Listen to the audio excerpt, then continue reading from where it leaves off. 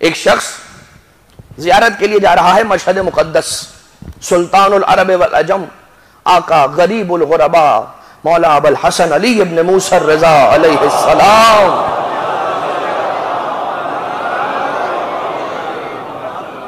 यकीन की बात है। और उसकी आँखों में बीनाई नहीं है, नाबीना दोस्त है। अपने दोस्त से कहता है कि, मेरे दोस्त, जब तुम ज्यारत के लिए जा रहे हो तो एक काम करना, वहाँ से आते हुए मशहद मुकद्दस के खाक बस मेरे लिए ले आना। आका गरीबुल गुरबा के शहर की, उनके कब्र के करीब की, उनके शहर की खाक मेरे लिए ले आना, वो खाक मुझे शिफा देगी।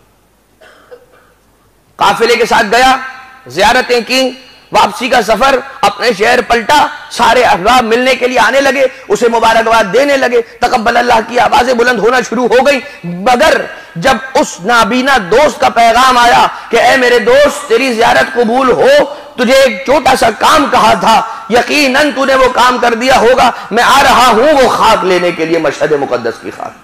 मगर दरअसल वो भूल चुका था। अपने उस मोमिन की बात पूरी करना, उसका ख्याल उसके जहन से, अपनी जियारत की, मसरूफियात की वजह से उतर गया था उसके जहन से ख्याल।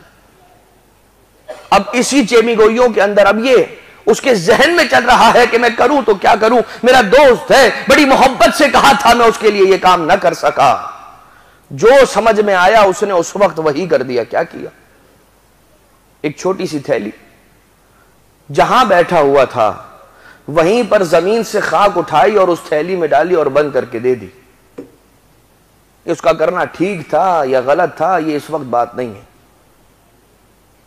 भूल गया उसने कहा कि शर्मिंदा होने से बेहतर है कि खाक दे दो, उसे क्या पता चलेगा कि कहाँ की खाक है।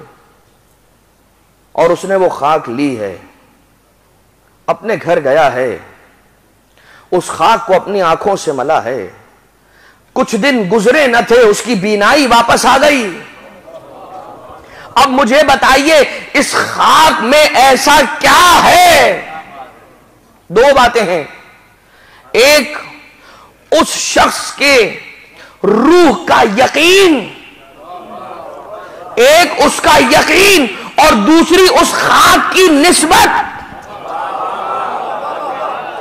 जो वो यकीन रखने वाला उस खाक को मशहद की खाक समझता हुआ लगा रहा था। समझता हुआ लगा रहा था। यह है निस्बत। और निस्बत का क्या कमाल है? जरा ये भी सुन लीजिए और फिर हम आगे बढ़े। इंसान इंसान अपने घर में दस्तरखान लगाता है। लोगों को दावत देता है, उन्हें खिलाता है, उनके शिकम सैर करता है, खुदा की दुआ का मरकज बनता है।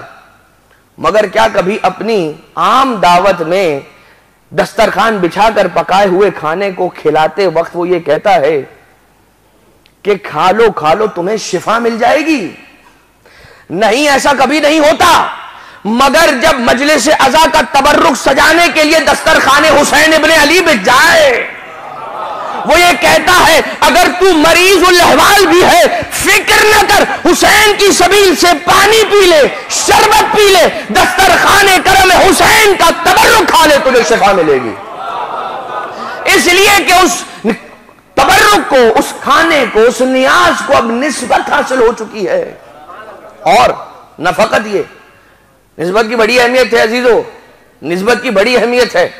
इसलिए भी अहमियत है कि वही हैवान है, वही हलाल गोश्त हैवान है, वही कबिले की तरफ़ रुख करके काट रहे हैं, मगर अल्लाह का नाम नहीं ले रहे हैं तो हराम। अल्लाह का नाम ले रहे, लेकर जिबा कर रहे हैं तो हलाल। जब तक नाम खुदा से, जब तक तस्मीय खुदा से, उसकी निस्बत नहीं जोड़ रहे हैं, तब तक वो हलाल नहीं हो रहा। बिल्कुल उसी तरह से, बिल्कुल उसी तरह से।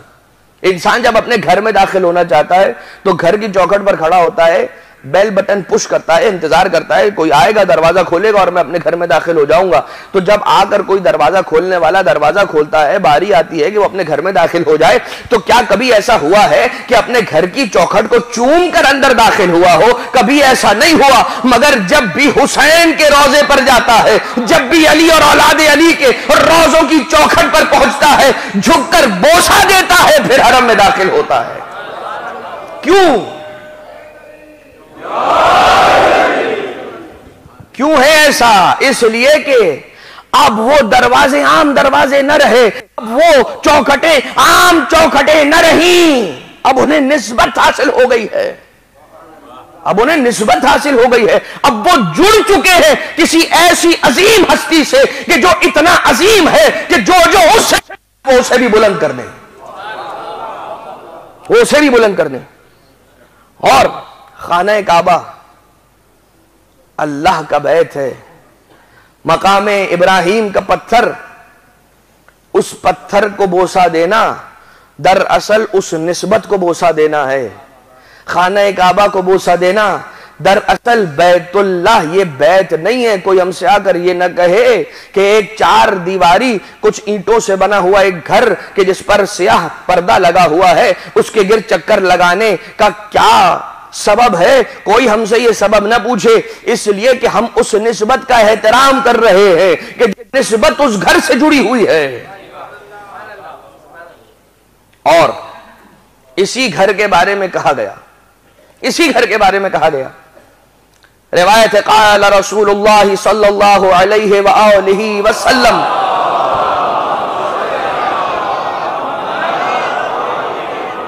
जरा गौर से सुनिएगा, काबा का ज़िक्र आ गया तो मौलूद काबा का ज़िक्र किए बगैर कैसे आगे बढ़ सकता हूँ? कैसे आगे बढ़ सकता हूँ? एक रिवायत समाज फरमा लीजिए, रिसालत माब की हदीस नबवी शरीफ है।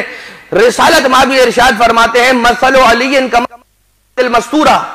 अली की मिसाल, ढके हुए काबा की मिसाल है। मस्तूर काबा की मिसाल है, सतर पोशीदा काबा की मिसाल है। अन नजरो इलेहा इबादतुन, वल हज्जो इलेहा फरीजतुन। जैसे काबे की तरफ़ निगाह करना, इबादत है वैसे मेरे अली की तरफ़ निगाह करना इबादत। और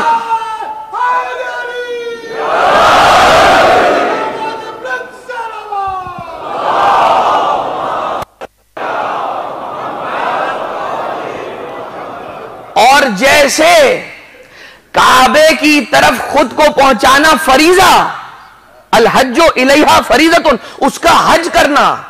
हज के दो माने, एक तो वो इस्तेलाही माना है कि जो उस पूरे अमल को कहते हैं कि जो हज का अमल है, जो अरकान हज है, उनको पूरा करना, एक खास वाजिब इबादत को अंजाम देने का सवाब लेकर आता है इंसान के लिए वो हज। एक हज है कि जो सिंपल डिक्शनरी मीनिंग्स है हज के, वो माना है हज के कोशिश। अलहज जो इलेहा फरीजा, जैसे काबे की तरफ़ खुद को पहुंचाना फरीजा है, वैसे ही अली की तरफ़ खुद को पहुंचाना फरीजा। इसके माना क्या हुए?